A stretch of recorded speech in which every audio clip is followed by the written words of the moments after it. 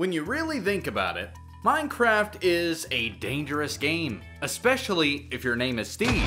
Take one step outside of your dirt hut and you'll more than likely be greeted by a pillager, whose sole mission is to attack you, for reasons unknown to you.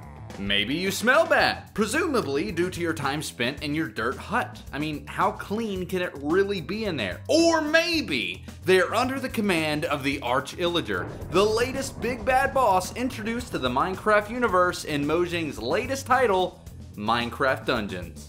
Perhaps the Arch Illager is the missing nose for the mystery of Minecraft's Illagers and why they're so angry. With all of that said, my name is System Z, and what if Minecraft had the Arch Illager? If you haven't already, make sure to check out Realm Origins, a new project I just recently announced.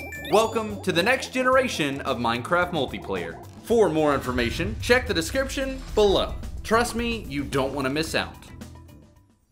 It all started with the villagers, peacefully enjoying the smells of Minecraft with the only care in the world being to farm and thrive together. That was, of course, until one day when exiled villagers known as Illagers began to wreak havoc on the world. Patrolling for new victims, using them as pawns to locate fresh villages to destroy.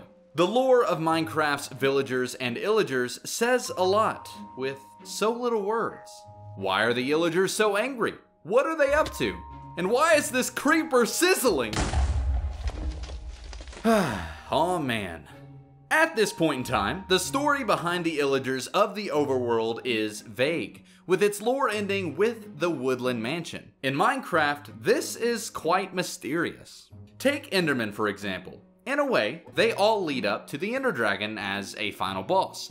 Wither skeletons as well lead up to the Wither. You could probably see where I'm going with this. This is the perfect opportunity to bring a giant pillager. No? Oh, sorry about that. What I meant to say was the Arch Illager from Minecraft Dungeons. Now for the moment you've all been waiting for. How exactly would an update like this work in Minecraft? What new features would it bring to the game? And will your dirt house be threatened by an invasion? All of this and more as we continue, so stay tuned. And without further ado, let's get started. So, what if the Arch Illager was in Minecraft? It all starts with the Pillager Outpost, added in the 1.14 update alongside the Pillagers, the newest in the cast of Illagers threatening the world of Minecraft. As of right now, the Pillager outposts aren't really what you would expect. Sure, there's a couple of trapped villagers and iron golems, and a few spooky pillagers guarding the place, but it's certainly nothing you would expect from the Illager army. At least, not as a base of simple operation. But then again, that's what the Woodland Mansion is for. So, what if the outpost was instead a beacon for something important? Perhaps even a secret device that they are trying to protect. My friends, let me introduce you to the Arch Crystal. One of four powerful devices the pillagers are sworn to protect. Found on the top floor of an outpost, this crystal would be your key to summoning the Arch Illager. But more on that as we continue. At this point in the game, any player brave enough to conquer a pillager outpost would be fit with decent enough gear to handle a few waves of pillagers, equal to that of a level 2 raid. This is the point where the entire outpost experience would be updated, not only with an improved structure, but by also making it just a little bit more difficult to climb the tower, bringing us back to the Arch Crystal. Once destroyed, it would cause the tower to explode, disabling pillager spawns and freeing the captured villagers and golems in the aftermath. Congratulations, you've done it. Maybe you could celebrate by finally upgrading your dirt house. By this point, you've conquered your first pillager outpost. Keyword being first. As mentioned before, each outpost would contain one of four crystals, each needing to be destroyed before summoning the Arch Illager, or more specifically, a new event called the Illager Invasion. Are you mad? You've just destroyed four Arch Crystals, conquering numerous pillager outposts in the process. Do you know what this means? Look at your status bar. You've been given a new status effect known as Arch Omen. I guess it's a good thing you never upgraded your dirt house because you can never go back there again. Because that would be crazy. Obtaining the Arch Omen status effect after destroying 4 Arch Crystals will cause a new event to occur whenever you next visit your set spawn point, which in most cases is your bed, meaning your home. Instead of activating when entering a village, like the Bad Omen effect, this one is just a little bit more personal. Once activated, the Arch Omen effect will trigger a new event called the Illager Invasion, commanded by none other than the Arch Illager, the newest boss to threaten the world of Minecraft. This event is like no raid you've experienced before, inviting hordes of pillagers, vindicators, evokers, and more. Even ravagers will come out of their cage to seek revenge. Your view around you will slowly become fog, blocking your view of incoming attackers, setting you up for 10 waves of mobs to fight. I'm sure by now you've figured it out. Why not just charge in and attack the Arch Illager with all of your might? Well, my friend, you may want to lower your netherite sword, at least for now.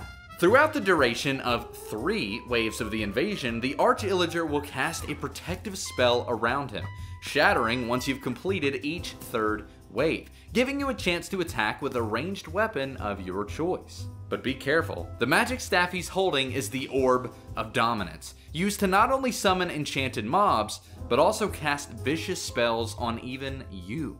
This all sounds just a little bit too spooky for me, so let's skip ahead to the final wave, breaking the protective spell around the Illager for the last time.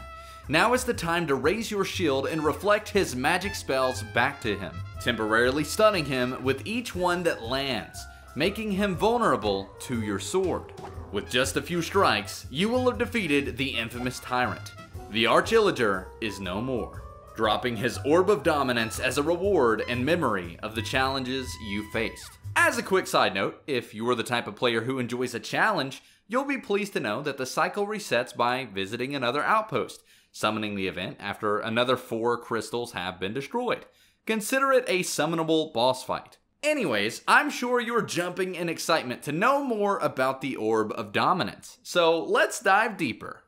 Weapons are rarely added into Minecraft, so when they are, they need to be balanced while also being fun and unique. The Orb of Dominance is a powerful one, as you would know if you played Minecraft Dungeons or in this case, taken on the Illager invasion. More than likely, by this point in the game, you will have defeated the Ender Dragon, using an Elytra to easily find the pillager outposts scattered all around your world. So, that should give you an idea of where this weapon and tool will fall in terms of power and abilities, specifically obtained during the late to middle game. Stay with me here because this is going to be interesting.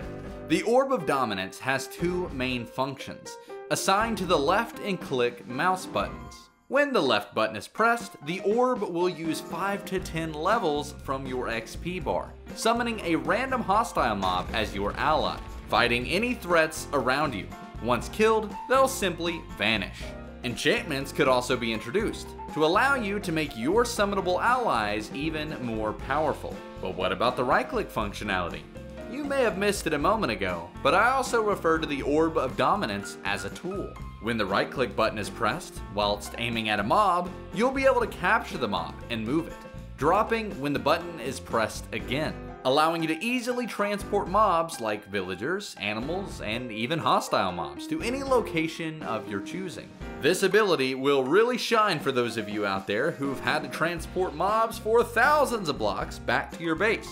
So I'm sure you're just as excited as I am. The Orb of Dominance would be the ultimate weapon, balanced by the requirement of player XP. With a mechanic like this in the game, players would be given a reason to collect XP beyond that of 30 levels. Rewards for defeating the Ender Dragon, gaining 60 plus levels worth of XP in one sitting would be more valuable, inspiring players to summon the dragon all over again. Doing normal tasks in Minecraft would also become more valuable, like simply farming, smelting, or even mining blocks, all due to the XP rewarded. Also, imagine the unique battles that could take place when random mobs are summoned, like using the rays from a guardian to fight the wither, or even a creeper to attack an evoker. The possibilities are endless, making for unique battles. Even player versus player scenarios could be completely different than ever before. So, what do you think? Do you feel like this is a balanced weapon?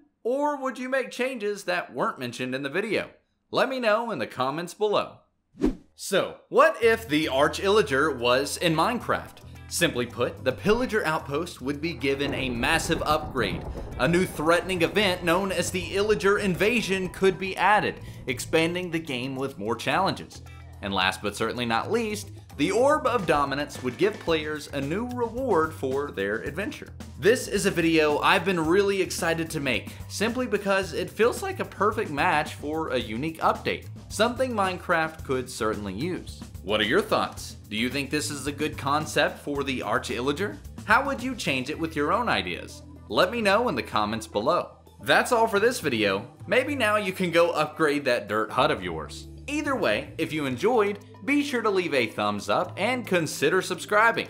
Also, turn on notifications to be alerted whenever I next upload a video. Also, be sure to check out Realm Origins, the project I mentioned earlier in the video. Welcome to the next generation of Minecraft multiplayer. Check the description for more information. That's all for now. Let me know what you would like to see next. My name has been System Z, you guys have been awesome, and I'll see you in the next one. Thanks for watching.